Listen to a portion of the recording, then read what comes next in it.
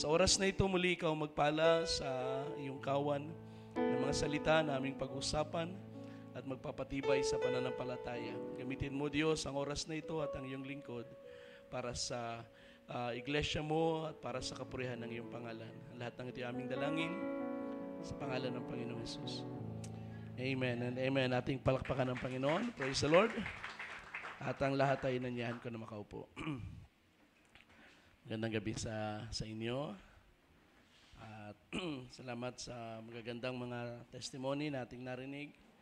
Pawang mga pagpapasalamat sa gawa ng Panginoon. At uh, nagagalak ako na mabalitaan ang uh, tagumpay ng fellowship sa Samar at nabalitaan ko rin si Brother Ray ay masaya at hinanap ako doon dahil sa um, mga mga bago rin mga kaluluwa na tina- inaabot ng Panginoon sa kanilang lugar.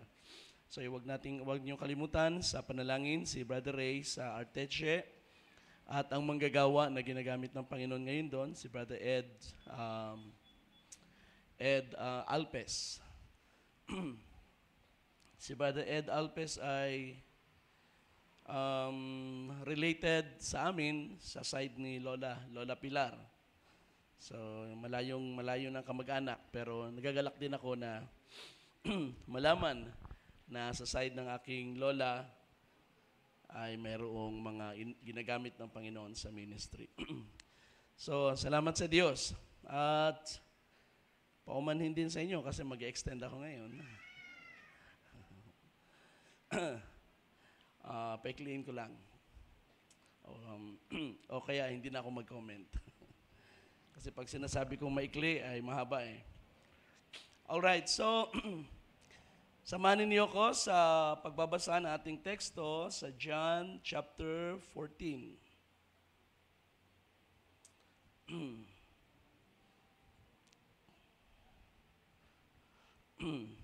John chapter 14, uh, 16, verse 16 hanggang 18.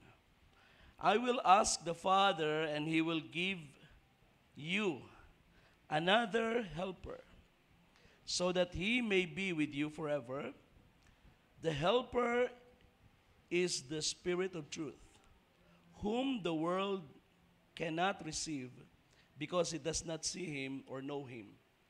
But you know Him because He remains with you and will be in you. At sa verse 18, I will not leave you as orphans. I, I am coming to you. and then let's read 1 John chapter 2, verse 1. My little children, I am writing these things to you so that you may not sin. And if anyone sins, we have an advocate with the Father, Jesus Christ the righteous. Natin magsabing amen. Praise the Lord. So, I want to speak about uh, simple subject, uh, the believers, uh, parakletos. parakletos is the Greek word na tinranslate as advocate sa 1 John chapter 2 at dito sa John 6 John 14 uh, tinranslate sa English as helper. Sa ating uh, lumang King James, ang translation dyan ay comforter, mang-aaliw, uh, katulong, sa kung helper naman, katulong, at ang advocate ay tagapagtanggol. so gusto kong kuhain yung, yung Greek word niya na parakletos because the word parakletos ay um, ay may significance sa um, sa teksto nating binasa sa John 14 at sa 1 John. At ang salitang parakletos sa, sa, sa language ng Griego ay mayroong legal significance. ang isang parakletos actually ay katumbas ng ating lawyer sa ating modern times lawyer. Or, or ang salin ay advocate.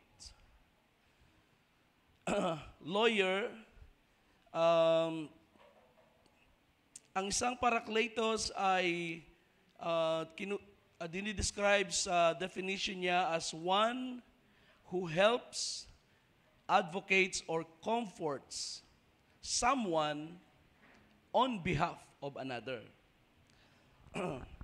so, ang isang parakletos ay isang tumutulong or nag-aaliw or nagtatanggol um, alang-alang sa isa. So in other words, kung ako ay merong, kung um, ang parakletos ay nakasama ko, ako, siya ay tumutulong sa akin in behalf of another. So siya ay parang representative. At ang parakletos ay merong dalawang, o ang lawyer, of course, ang lawyer sa ating panahon, ay merong dalawang mahalagang function ng lawyer. Ang una ay representation, pangalawa ay counsel or legal counsel. Know? Uh, kung kayo ay nakaranas ng magkonsulta sa lawyer, of course, ma- mahal ang, mahal ang bayad sa isang uh, lawyer, ay maaaring kayo ay lumapit sa lawyer for one of the two reasons. To represent, ibig sabihin para i-represent tayo sa isang court of law. That is the idea. So yung mga attorney na tumatayo sa sa korte, uh, sila ay nandoon to represent the client. Merong nangangailangan ng representation sa batas at sila ay tumatayo in behalf of the person. Or sometimes hindi naman kailangang kumonsulta sa lawyer dahil may kaso, sometimes ay kailangan lang natin ng legal counsel. Kapag kailangan natin malaman kung ano ang sinasabi ng batas patungkol sa property, patungkol sa pag-aagawan ng boundary ng lupa, or paano i-dispose ang mga ang mga property or any other thing. Kumukuha tayo ng tinatawag na legal counsel. Uh, siguro kayo nakaranas na kung paanong uh, lumapit sa lawyer. so, as a representation, the lawyer represents the person or the entity in a court of law. Now, as far as legal counsel is concerned, it is to provide legal advice, sound legal advice, na ang purpose niyan ay either to prevent uh, troubles, no, para maiwasan ang problema sa unahan, or para malaman kung paanong hahakbang in case may mga problemang nag-exist o nag, problemang dumarating. So, nagbabayad tayo ng lawyer for legal counsel. So, ganun, so napakahalaga ng, ng, ng role ng lawyer sa, at, sa, sa ating buhay sa lupa. And probably, of course, karamihan sa atin, kung hindi naman tayo, wala naman tayong maraming perang pambayad sa kanila, sometimes it's very hard na na magkaroon ng legal, ng representation pagdating sa korte. Kaya ang karamihan ay dumadaan na lang, uh, pumupunta na lang tayo sa tinatawag na settlement. So may mga aksidente, pag tayo ay magpupurso pa ng demanda, ay maraming gastos. At dahil wala tayong panggastos, settlement na lang, bayaran na lang.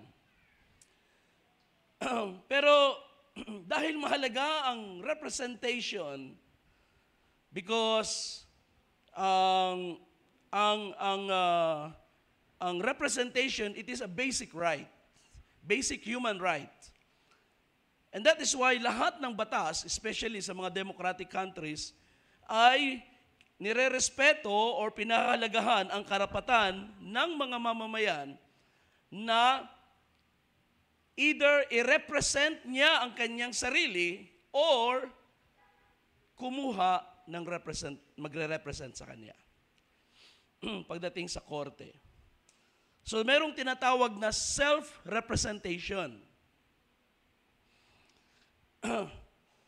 At yan ay isang, isang option ng isang mamamayan Pero dahil mahalaga ang representation, ang batas ng lupa ay nagpo-provide sa mga mahihirap ng tinatawag na free legal counsel.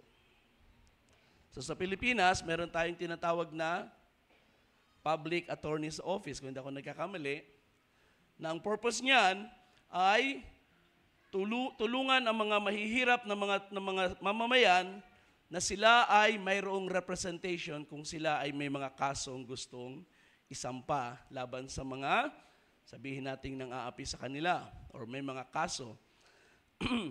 so the government provides free legal representation. Bakit nagbibigay ang government ng free legal uh, representation? Sapagkat yung unang option ng self-representation, bagamat ito ay allowed, hindi lahat ng mga tao ay may kakayanang i-represent ang kanilang sarili.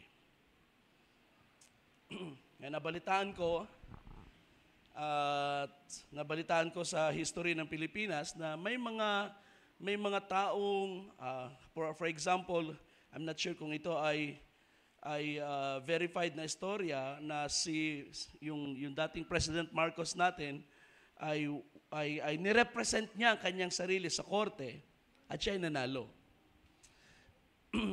But that is, the reason na siya ay nanalo is because siya ay lawyer. Nag-aral siya. Nag ibig sabihin, nagkaroon siya ng background sa law. Kaya pagdating naman sa majority sa atin, wala tayong wala tayong kakayanan para para ipagtanggol ang ating sarili sa batas. Therefore, the government provides free representation. May isa akong napanood na video at ito ay patungkol sa isang ah, lalaki na humarap sa judge dahil siya ay may kaso. Marami siyang kaso. Ang unang kaso niya ay driving without license at ah, possession ng firearms, illegal possession ng baril, ah, marijuana, etc. So marami siyang kaso.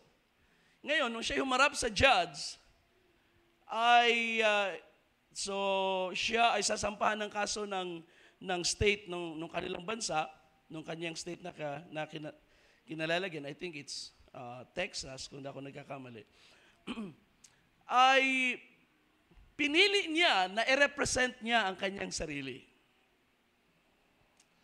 So, ang judge naman ay napakabait. Sabi niya, sigurado ka bang i-represent mo ang sarili mo? Sabi niya, alam mo ba kung gaano kahirap yan? Alam mo ba na kailangan mo ng sapat na kaalaman sa batas para para maging successful ang pag-represent mo ng iyong sarili? Meron kasi mga tao sa Amerika, this is, ito istorya sa, sa United States, no?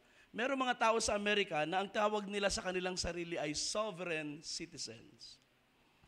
Ang ibig sabihin nila, as sovereign citizens, sila ay mga mamamayan ng lupa at sila ay independent sa US government. so, pag sinabi nila, pag sila ay nagda-drive sa kalsada, wala silang lisensya, at pag sila ay hinuhuli, ang kanilang justification, sila ay sovereign citizen ng lupa ng, ng, ng Amerika, ng lupain ng Amerika, at hindi sila sakop ng batas. Nung, let's say, nung state ng California. Parang ganon. ang problema, kahit anong pilit nilang i-justify na sila ay independent, ay hindi nila kayang malusutan ng batas. Dahil lahat naman ng mamamayan sa isang lugar, kahit saan kang magpunta, kapag may existing government, then you are subject to the government. Di ba?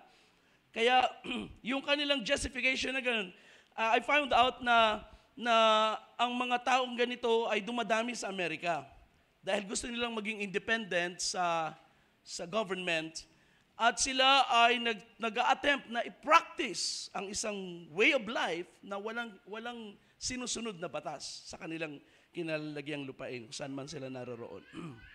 so yung lalaki na ito ay nasa ganong kalagayan. Siya ay nagpakilalang sovereign citizen, ah, wala nagda-drive siya pero pero ah, wala siyang lisensya, ang katwiran niya ay hindi naman bawal sa sa batas ang ah, mag-move o lumipat from one place to another. Yan ang sabi ng batas, ang sabi ng judge, talagang hindi naman bawal. Pero huwag kang mag-drive. Kung gusto mong lumipat, mag-move from one place to another, maglakad ka. Dahil yan, wala, wala yan kailangan lisensya. Pero once ikaw ay gumamit ng sasakyan, obligado kang sumunod sa batas. so it's like that.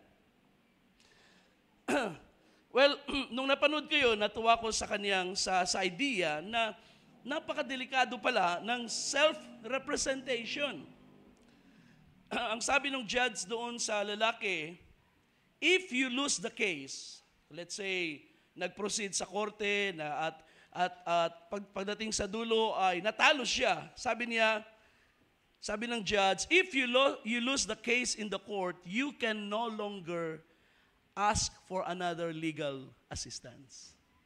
In other words, pag ikaw ay nahatulan at nakulong na, wala nang wala ka nang appeal. Hindi ka na pwede mag-appeal sa, sa court. Uh, you will lose that right, that privilege, because you chose to represent yourself. uh, hindi katulad kapag merong lawyer, uh, pagdating sa dulo, kapag medyo delikado na o parang, parang hindi gumagawa ng maayos yung lawyer, pwedeng yung kliyente ay magpalit ng kanyang abogado. Pero kapag pinili niya ang self-representation, then, pag natalo siya doon sa, sa hearing na yon, then that's the end. sabi niya, sabi ng judge, kapag may lawyer ka, kahit nakakulong ka na, yung lawyer mo ay pwedeng gumawa ng paraan para i-appeal ang iyong kaso.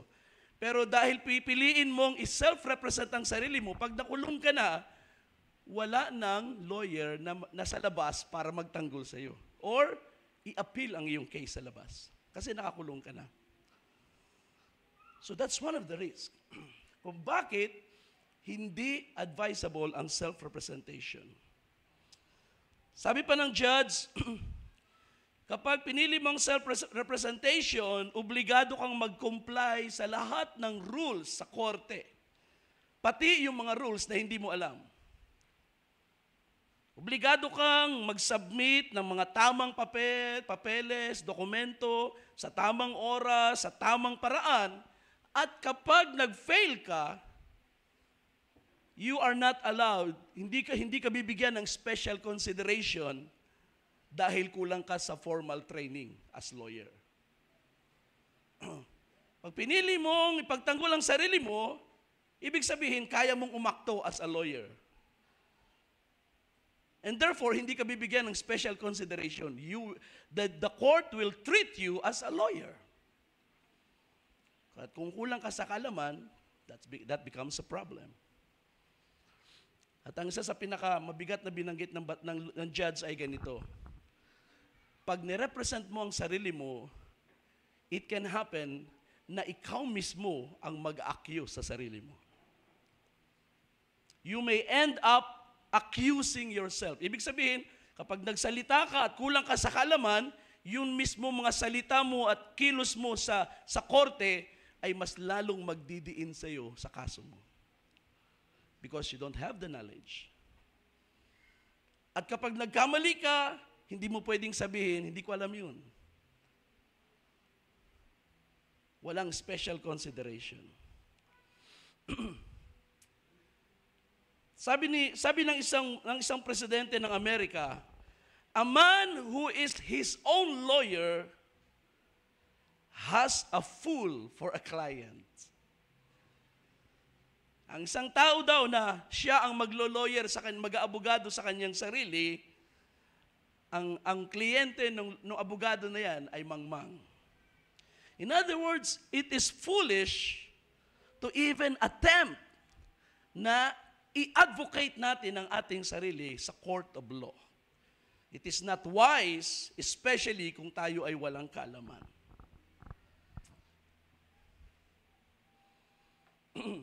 Kaya pag tayo nasadlak sa problema sa kaso, Pag hindi nat, dahil hindi natin kayang i-represent ang ating sarili, magse-settlement na lang tayo. Kahit kaunti lang, mananahimik na lang tayo. Let's say, namatay sa aksidente ang ating mahal sa buhay. Minsan, babayaran na lang ng 50 mil, 100,000, at nananahimik na ang mga, ang mga na, naapi dahil sa wala tayong kakayanan. Pero, ang gobyerno pala ay nagpo-provide ng paraan ng libreng legal counsel because mahalaga na merong mag-represent sa atin. Now you see mga kapatid, ang principle na ito ng batas sa lupa ay galing sa Diyos. Alam ng Diyos na hindi natin kayang i-represent ang ating sarili. At kung pipilitin man natin, which is meron tayong kalayaang gawin yan, yan ay kamangmangan na i-attempt mong ipagtanggol ang sarili mo sa harap ng hukom ng langit at lupa. To even say, ah, ako nang bahala sa sarili kong buhay, hindi ko kailangan si Jesus, is foolishness itself. Samantalang si Jesus ay ibinigay ng Diyos as your, hindi lang as your Savior, but as your free lawyer libreng tagapagtanggol, wala kang babayaran, ang kailangan mo lang ay sumampalataya sa Kanya. Hallelujah! Bakit ang Diyos nag-provide ng free legal counsel? Sapagkat alam niya, hindi natin kayang ipagtanggol ang ating sarili. Kapag tayo humarap sa hukuman, sa tinatawag na Great White Throne of Judgment Day, wala tayong pwedeng sabihin na kayang magligtas ng ating buhay sa dagat-dagatang apoy. There's, there is nothing in us that is enough. There is no wisdom na sapat para i-defensa natin ang ating sarili. And that is the reason God gave us Jesus. Hindi lang siya Savior, He is advocate. Tagapagtanggol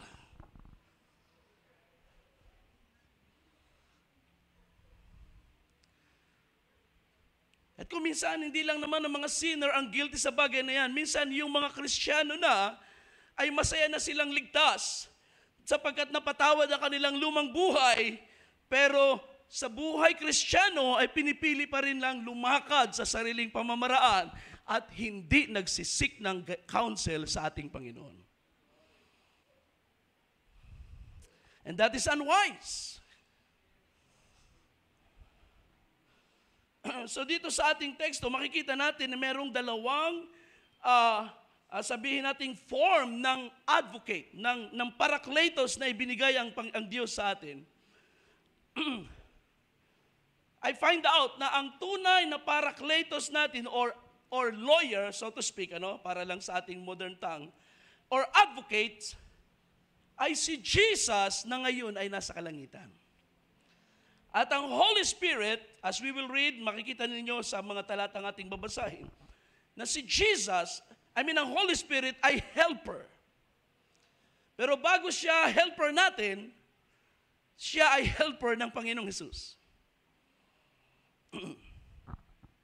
Tingnan ninyo ang mga talata. It's the same verses ito na ating babasahin, pero I want to, uh, gusto kong tingnan natin ito sa sa sa perspective ng batas no ng ng legal legal matters.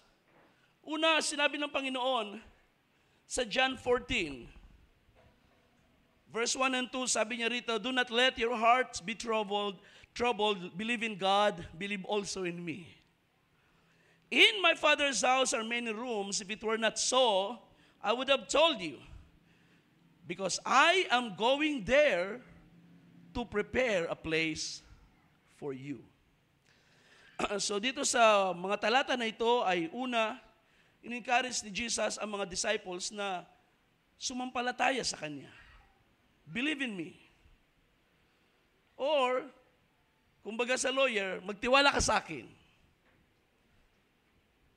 Sa bahay ng aking ama ay maraming lugar doon para sa inyo. Ako'y akyat at ipaghahanda ko kayo ng lugar.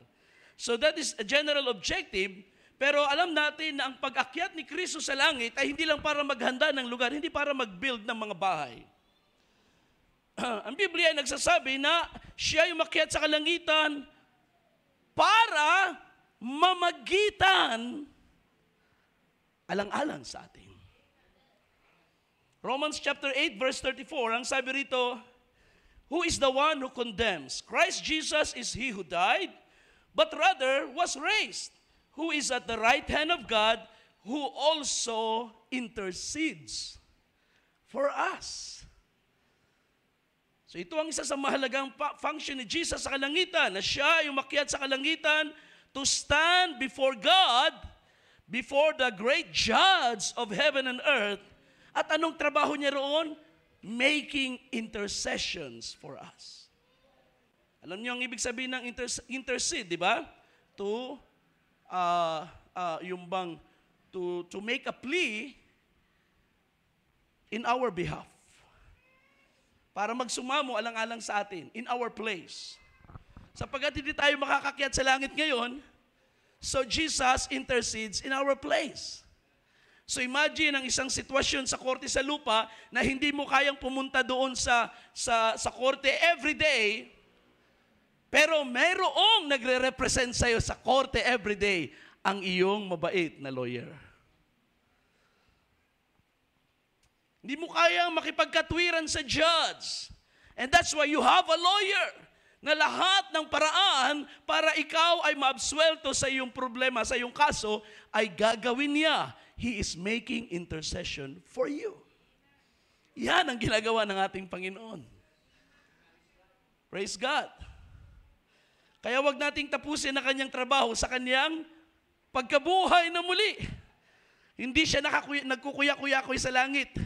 Bagamat sinasabing siya ay nakaupo from the time waiting till, till his enemies are made footstool for his feet. It doesn't mean na walang ginagawa ang Panginoon. Yun ay expression lamang ng finished work sa cross na ang lahat ng kaaway sa takdang panahon ay susuko sa paanan ni Kristo. Pero alang-alang sa atin, Jesus is busy making intercessions. Hebrews chapter 7 verse 25, therefore he is also able to save forever. Sa ibang salin, to save to the uttermost. Those who come to God through him, since he always lives to make intercession for them. Kaya ang ating salvation ay hindi one time. Ang ating salvation ay hindi isang araw lang pagkatapos nawala na ang ating kaligtasan Jesus is able to save us to the end. Hallelujah! Hindi lang yung past sin ng buhay mo ang kayang ayusin ng Panginoon. Nandun siya ngayon sa langit para asikasuhin ang iyong mga pagkakamali na gagawa habang ikaw ay nabubuhay bilang Christian. Provided, nagtitiwala ka sa Kanya. Provided sumasampalataya ka at ipinagkatiwala mo ang iyong buhay sa ating Panginoon. Then, He, he, he stands for you in heaven. Hallelujah. So yan ang trabaho ng lawyer. Kaya sabi ng ating sabi ng 1 John 2 ating teksto, My little children, I write these things to you so that you may not sin. So ibig sabihin, ang purpose ng mga letter ng mga apostles is to teach us how to not commit sin anymore. Sapagkat tayo ay hinugasan na sa ating mga sala. And we're supposed to be sons and daughters of God na hindi na nabubuhay sa kasalanan. Pero, even then, meron pa ring provision. And if anyone sins, we have an advocate with the Father, Jesus Christ, the righteous. Amen? Hindi siya excuse para tayo magpamali-mali sa ating buhay kristyano, pero kapag ikaw ay nagsisikap maglingkod ng tama at mabuhay ng tama, and you fail at times, yan ang kailangan mo. Tagapagtanggol.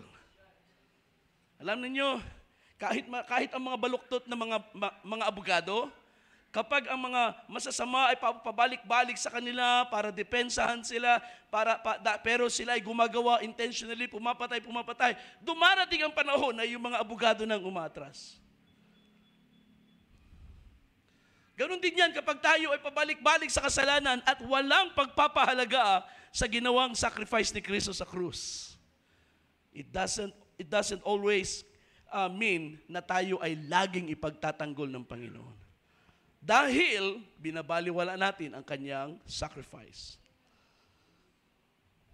So, ang salita na ito ay para sa mga faithful na mga mananampalataya, na mga mga Kristiyano na na from time to time ay may mga failures at shortcomings.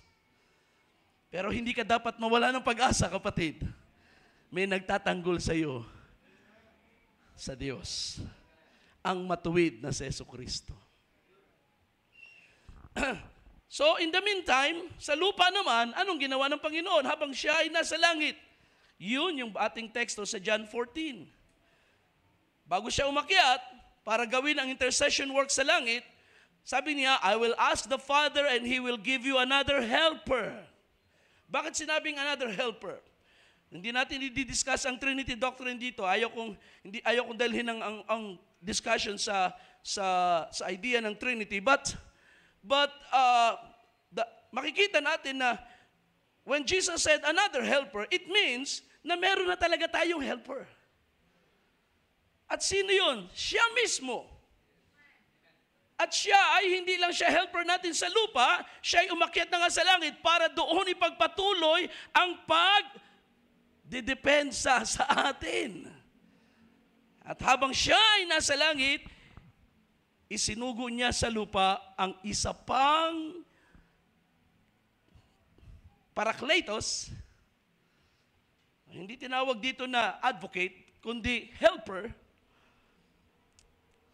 so that He may abide with you, so that, so that He may be with you forever, upang kayo ay samahan hanggang sa dulo ng panahon. Habang wala ang Panginoon, hindi natin siya kasama uh, uh, physically, corporeally, hindi natin siya kasama, ibinilin niya sa lupa ang Espiritu Santo upang maging another helper, but this time not as advocate, but as legal counsel sa lupa. At ang at ang Holy Spirit, sabi sa verse 17, hindi kilala ng sanglibutan, pero kilala niyo siya, sabi ni Jesus. Bakit? Because the Holy Spirit is not another person, but it's the same Lord. Na nagawa niya, ang kanyang katawan physically ay nasa langit, glorified, pero ang kanyang spirito ay ibinuho sa, sa iglesia upang maging helper, maging parakletos natin sa lupa. Now, tinan ninyo kung ano ang ibig sabihin dito ng helper. Ang Holy Spirit ay unang-una, hindi ating helper, kundi helper ni Jesus. It's another helper because ang purpose ng Holy Spirit is to provide legal counsel sa mga Kristiyano sa lupa in behalf of Jesus Christ. That's the idea of Parakletos dito sa teksto na ito. Si Kristo ay nasa langit in, on our behalf. Ang Holy Spirit ay nasa lupa on His behalf. Naintindihan ninyo? Alang-alang sa Kanya. Of course, makikinabang tayo. Sapagkat ito ay kailangan nating legal counsel. In other words, ito ay pagpapakita ng Diyos na He wants to make sure na, ta- na ang ating laban hanggang sa dulo ay matagumpay. Now, alam ninyo, uh, pagdating sa tinatawag ng mga class suits, uh, ito may kinalaman na sa mga malalaking demandahan, sometimes hindi na tao sa tao, kundi corporate, mga malalaking company. Ang tumatayo sa sa araw ng paglilitis sa korte, hindi lang isang lawyer Sometimes ang katabi nung sabihin natin nagre-represent sa company, dalawa, tatlo, apat. Imagine that. At lahat yun ay kakampi niya. Kakampi ng company o kakampi ng may-ari ng company. Lahat yun ay nasa panig niya. At yung apat na yun ay mag, mag, mag, mag-uusap, magsiset up ng strategy kung paanong didepensahan ang kanilang kliyente. Imagine kung gaano kabuti ang ating Diyos, mga kapatid. Ang ating Panginoon, ang ating helper. Pero physically, hindi natin siya kasama. So God provided another helper. The Holy Spirit to go with us. Habang yung nagdidepensa sa atin ay nasa korte, meron namang another helper na kasakasama natin sa lupa to provide counsel. Napakabuti ng Diyos. Di ba? Ganun kag- kaganda ang gawa ng Panginoon sa atin. Because, of course, habang si Jesus Christ ay nasa kalangitan, then tayo nasa lupa ng mga believer, we may be subjected to enemy attacks para tayo ay lokohin, para tayo ay i-threaten, para tayo ay pagsalitaan ng masama, or i-torture. But thank God, may another helper. May another parakletos na kapag, kapag ikaw ay tinitreat ng Diablo, pwede mong kausapin yung iyong legal counsel. Panginoon, tulungan mo ko ako ay inaatak ng kaaway. Then nariyan siya para magbigay ng wisdom sa atin. Praise the Lord. Amen.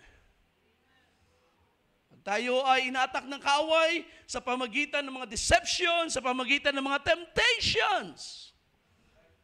Hindi tayo nag-iisa sa pagharap sa mga tukso. Meron tayong another helper. Ang Espiritu Santo. The only question is, tayo ba ay nagtitiwala sa ibinigay ng Diyos na another helper sa buhay natin? Sapagkat kung tayo ay lubos na magtitiwala at gagamitin natin to the fullest extent of our capability, ability, ang paggamit sa legal counsel na i-provide ng Holy Spirit, then God guarantees na lagi tayong matagumpay. That is why ang sabi ni Jesus, Tintin natin si Jesus, nakatayo sa gitna ng seven, seven golden lampstands. At anong sabi ni Jesus? Ang may tainga na pakinig ay makinig sa sinasabi ng Espiritu Santo.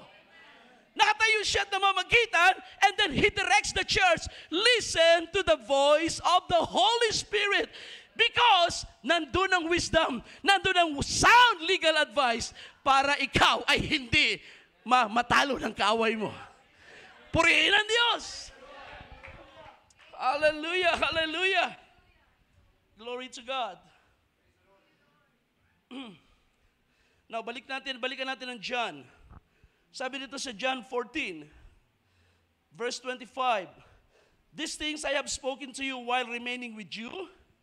26, But the Helper, the Holy Spirit whom the Father will send in my name, He will teach you all things and remind you of all that I said to you.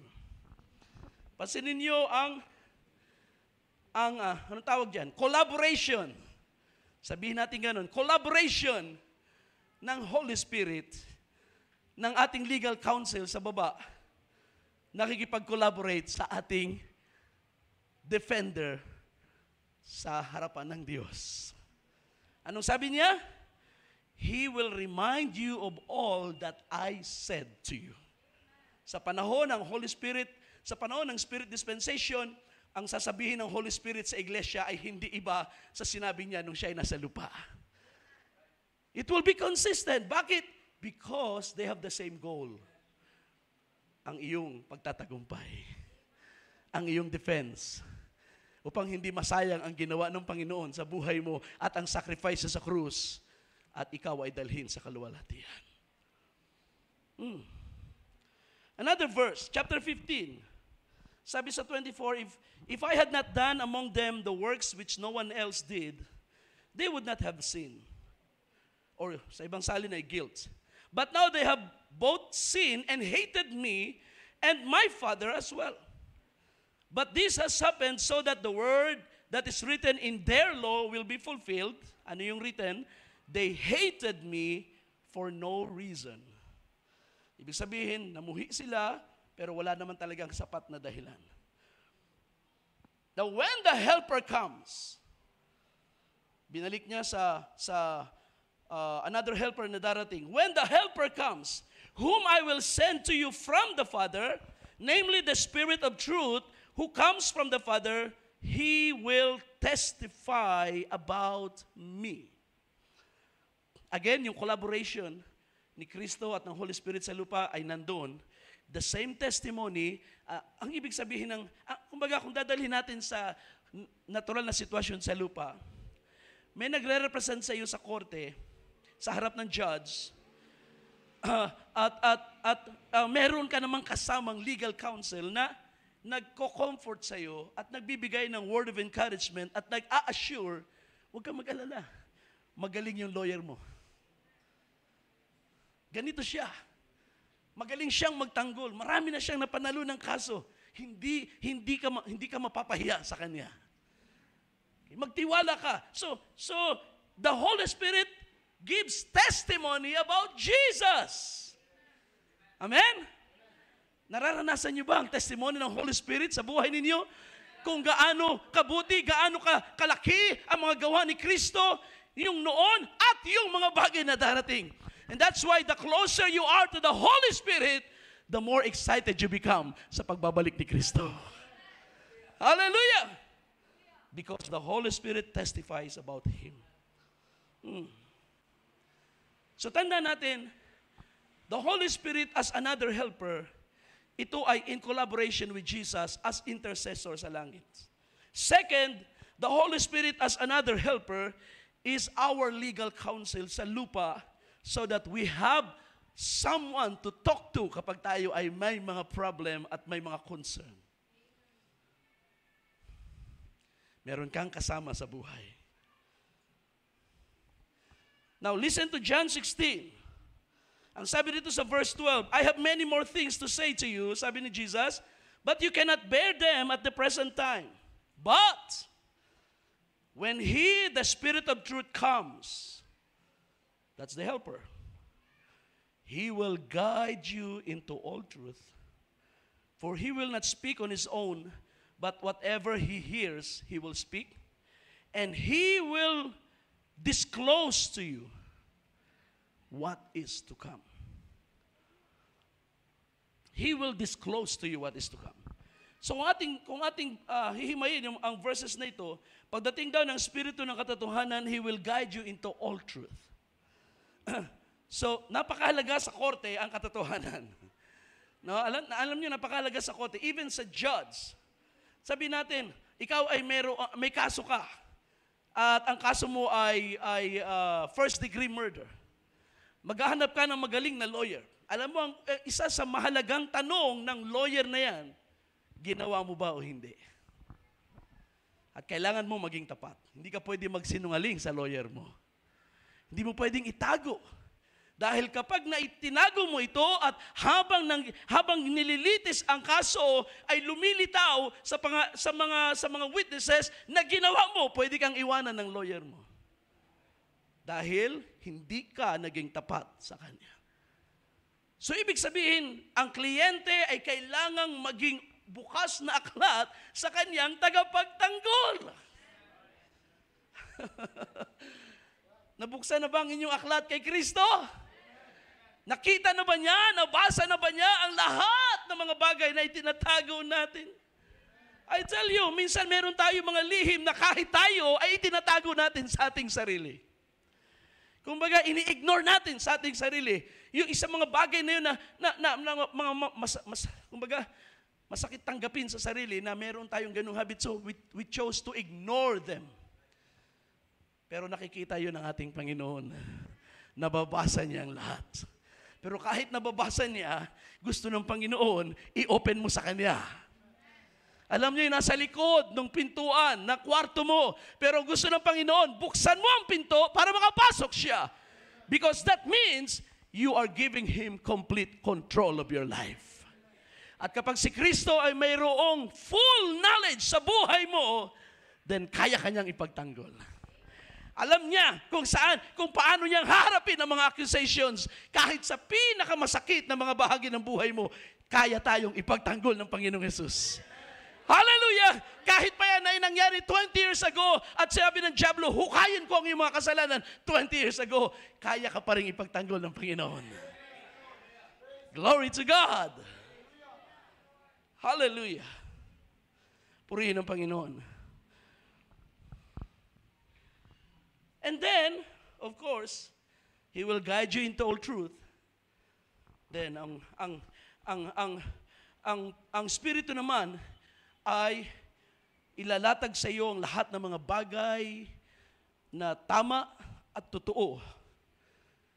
I- I-unfold sa iyo, i-disclose sa iyo ang lahat ng mga bagay na makakabuti sa iyo.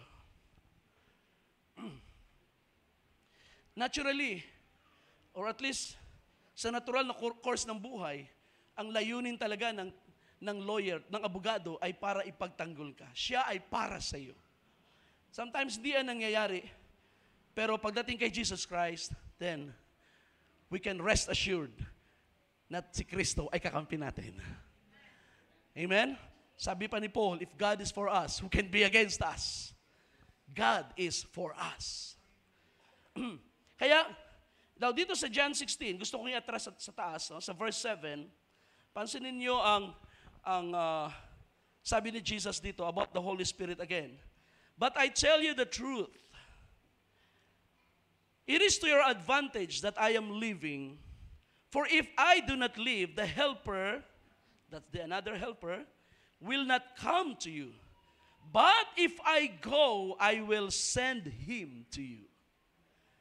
So it is necessary na ang ating uh, advocate, ng ating parakletos ay umalis, pumunta sa korte para mamagitan sa atin.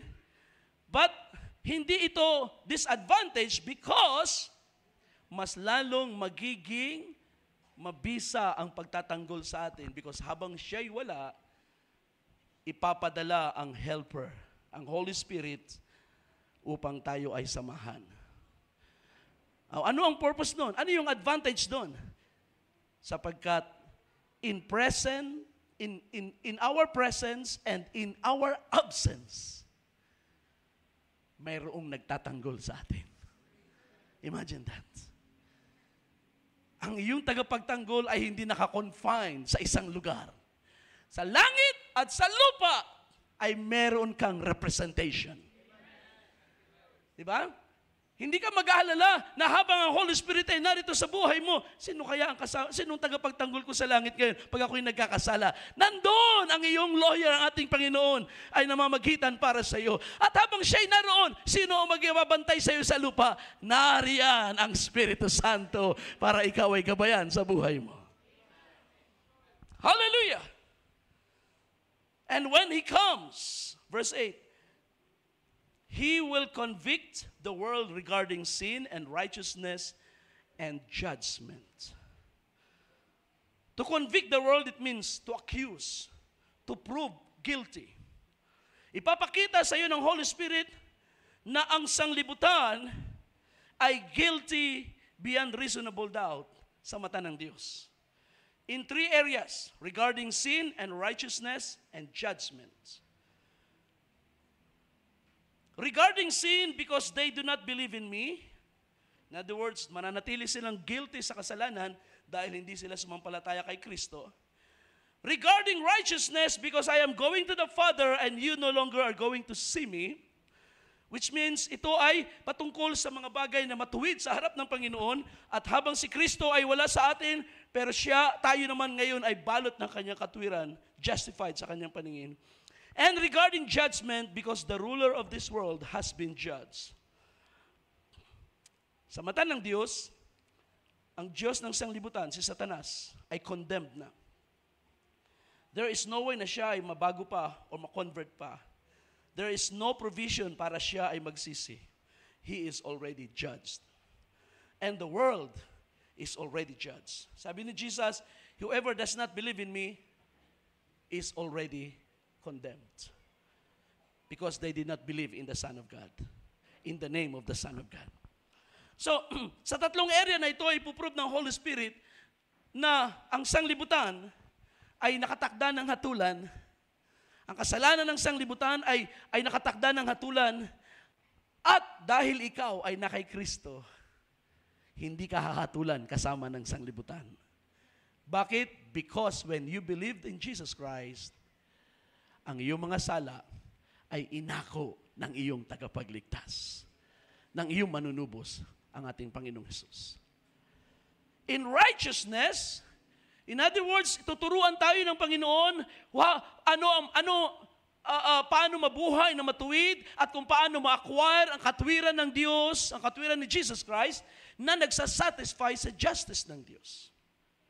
Oh, alam na natin yan. So hindi na natin i-expound ng marami yan. Na tayo ay matuwid, hindi sa ating sariling kabutihan, kundi dahil ibinilang tayong matuwid. Ibig sabihin, yung katwiran ni Jesus Christ ay ibinilang sa atin ng Diyos the moment na tayo ay sumampalataya sa Kanya. That's imputed righteousness. And then judgment. Ang sanglibutan na ito ay nakatakda ng hatulan. Therefore, may paraan ng Diyos para tayo ay iligtas sa galit niya na ibubuhos sa ibaba ng lupa. Now, so, kaya nga sabi ng, sabi ng John 16 again, He will disclose to you things to come. Which means, ang Holy Spirit ay hindi lang concerned sa iyong present na kalagayan. The Holy Spirit as your helper is preparing you for your future. Hinahanda ka ng Espiritu Santo sa mga bagay na darating, sa mga bagay na inihanda ng Diyos para sa iyo. Kaya kapag ang Holy Spirit nagtuturo, ano ang ating trabaho? Makinig sa sinasabi ng Espiritu sa iglesia. Siya ang ating guro ngayon. Kaya nga lagi nating sinasabi ng Holy Spirit ay ating guro. First John chapter 2 rin yan ay binanggit doon. The anointing teaches us. So merong nagtuturo sa atin. Habang tayo nabubuhay sa ibaba ng lupa, eh, hindi ba napakaganda nun mga kapatid? Na habang ikaw ay nabubuhay sa lupa at ikaw ay maraming pamali-mali, mayroong nagsasabi sa iyo, oh, dito ka humakbang, oh, wag ka humakbang dyan, oh, ito ang dapat mong gawin, oh, wag kang lumiko sa, sa lugar na yan. Mayroong guide, mayroong legal counsel na nagtuturo sa iyo. Ito ang resulta niyan. Kapag ginawa mo yan, ito ang consequence niyan. Kapag ginawa mo ito naman, ito ang reward. May, paano mo ibabaliwalain ng Espiritu Santo samantalang napakalaki ng ating benefit sa presence niya sa buhay natin? Glory to God. Hallelujah.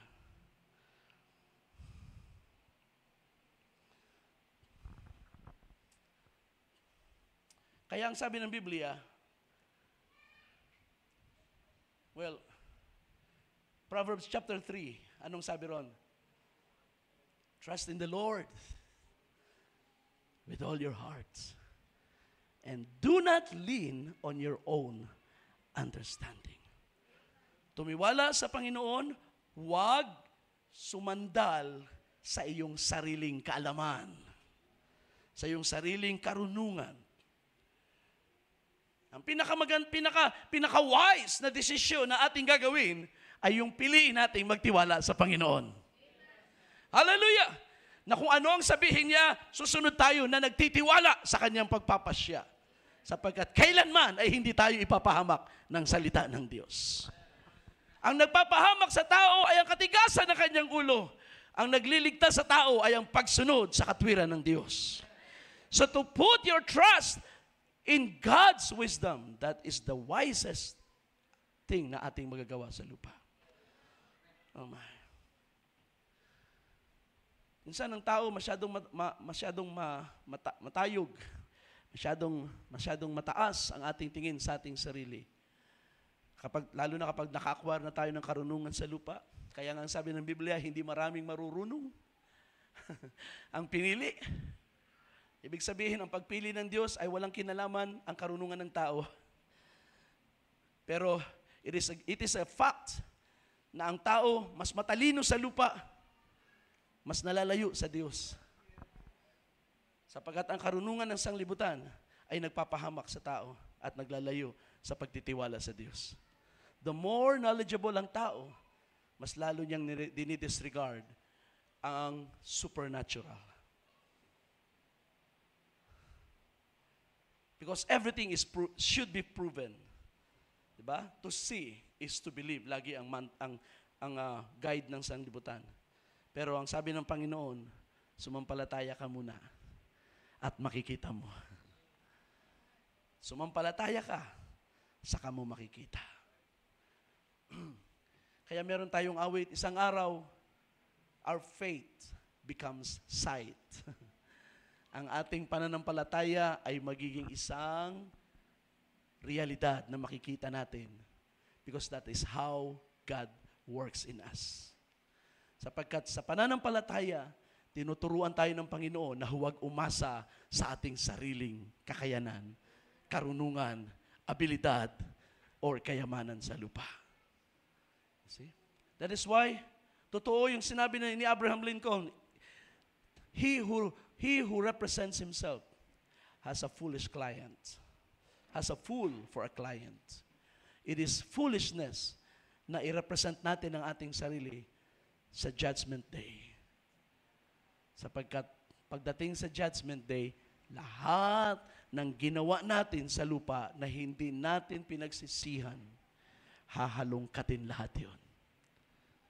Mula sa unang panahon na nagsimula ka magkaroon ng kamalayan, hanggang sa huling hininga mo, lahat ng iyong aksyon, lahat ng dumaan at in-entertain mo sa iyong kaisipan, lahat ng mga damdamin na iyong itinago at hindi ipinakita pero tinataglay, lahat yun ay may expose sa judgment day.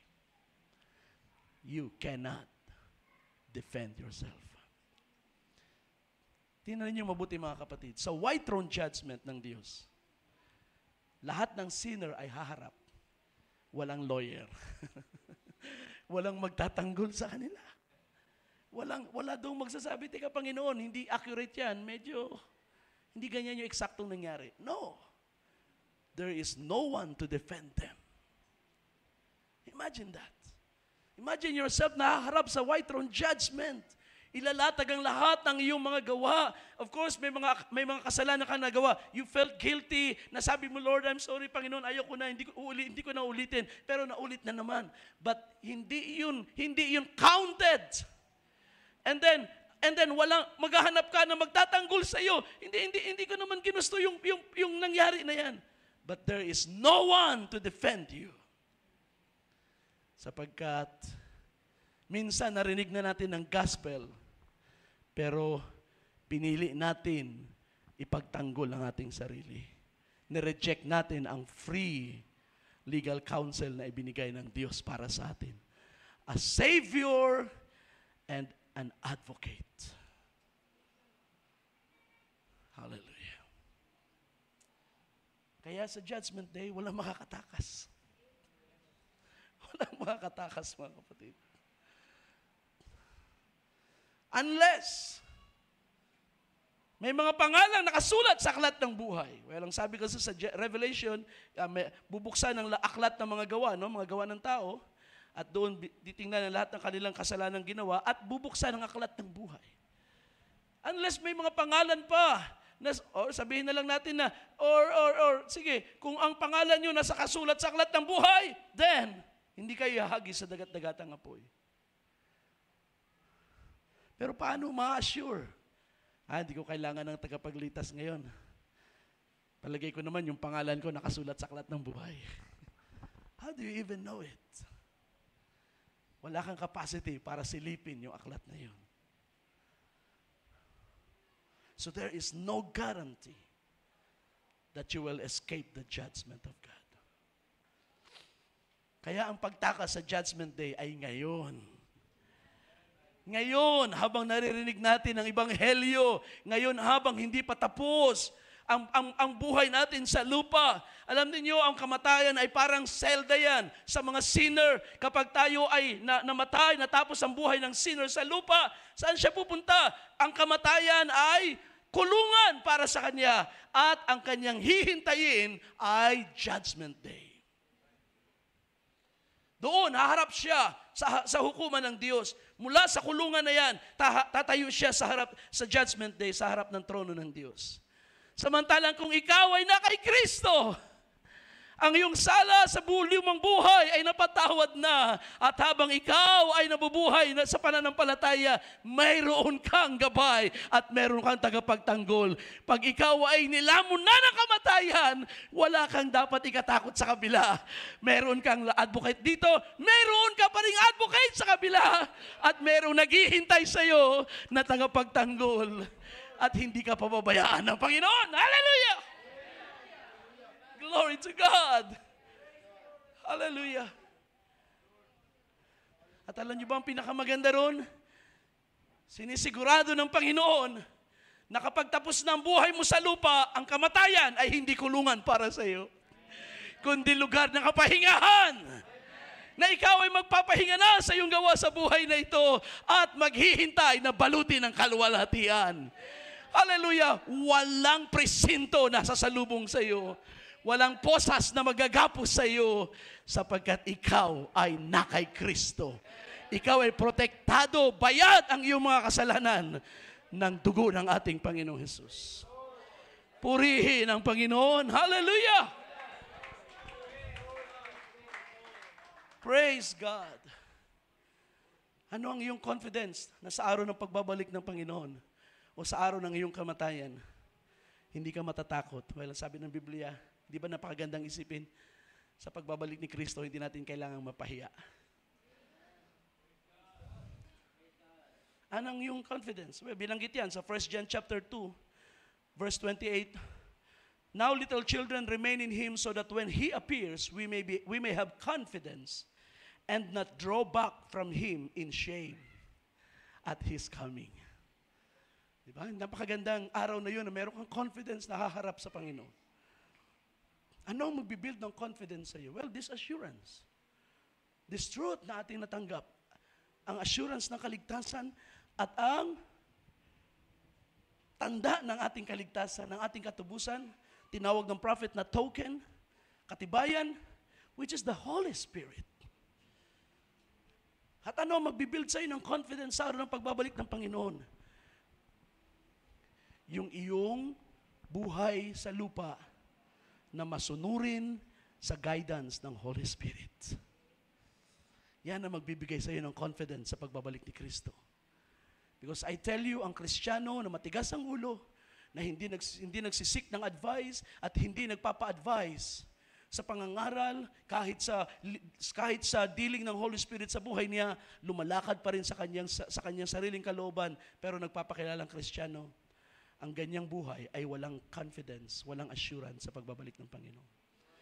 Pero kapag alam mong ikaw nakikinig sa Holy Spirit, kaya nga sabi ng awit natin, when the Savior calls, I will answer. When He calls for me, I will hear.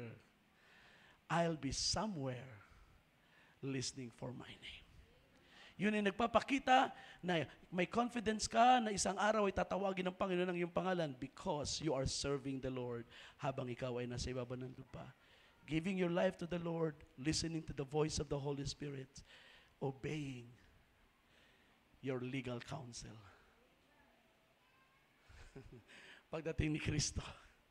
Ganda ng report sa akin ng, ng legal counsel. Welcome.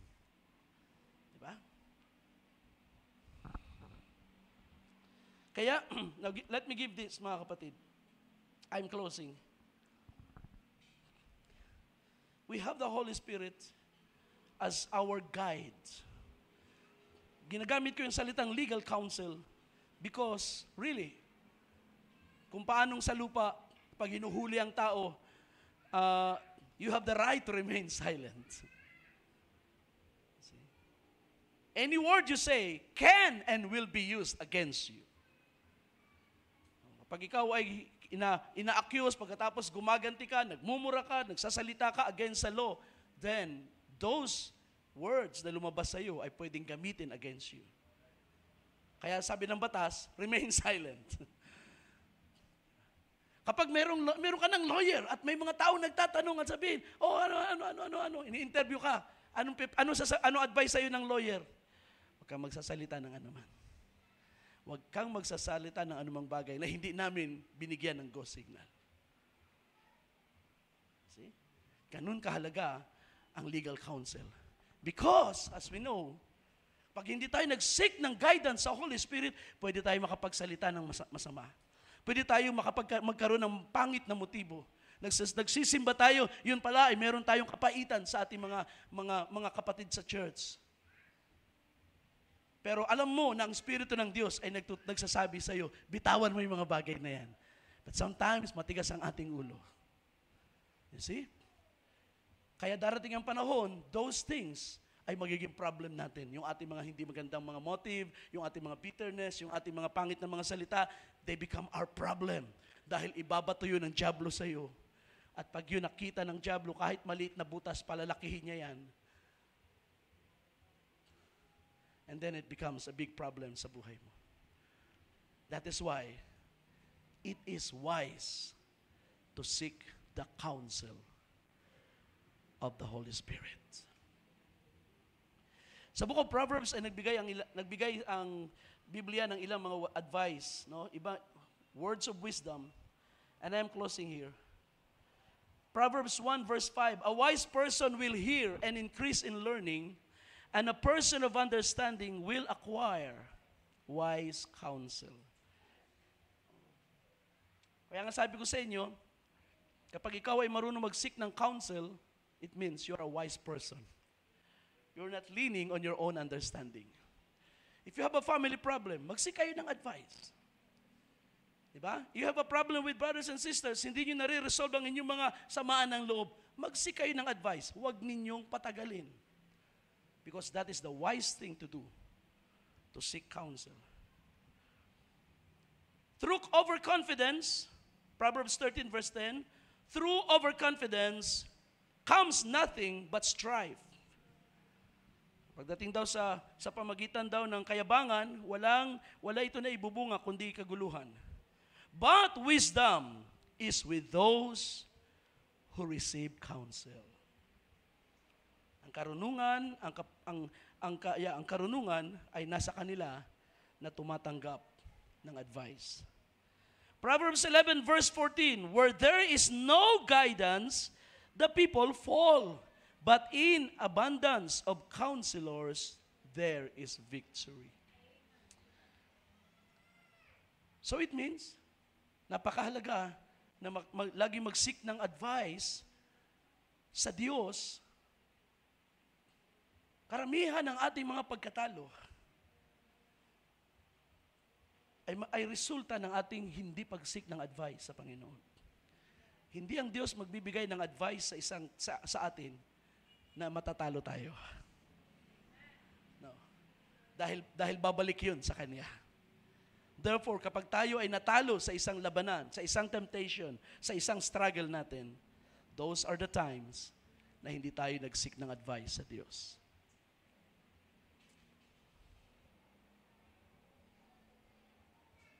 Proverbs 15, verse 22, without consultation, plans are frustrated, but with many counselors, they succeed.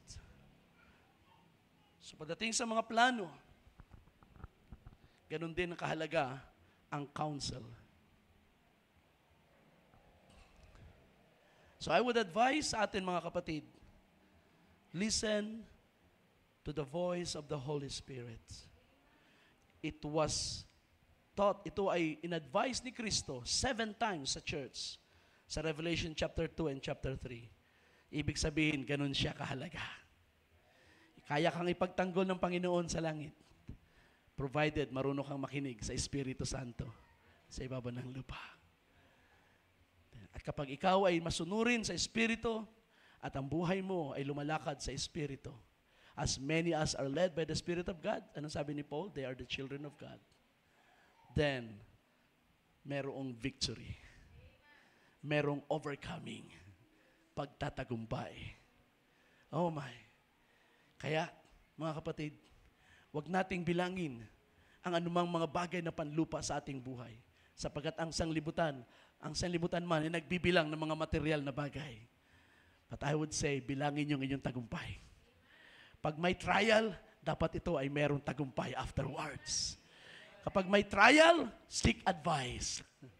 Di ba? Seek counsel sa Panginoon. Lumapit, manalangin. At pagkatapos ay mag-confide sa mga makakatulong sa atin na, na mga mananampalataya or mga servants of God. Because kapag maraming advice, there is victory. Laging may victory, laging may tagumpay. Hallelujah. Maaari ko minsan hindi man lubos-lubos, pero habang tayo nananatili, malulubos ang tagumpay sa unahan. Because always, Jesus guarantees victory for His people. Glory to God. Ating palapakan ng Panginoon, mga kapatid. Hallelujah! Purihin ang Panginoon sa kanyang mga salita. Glory to God. God bless you all. Let us all stand and let's thank Him for His word.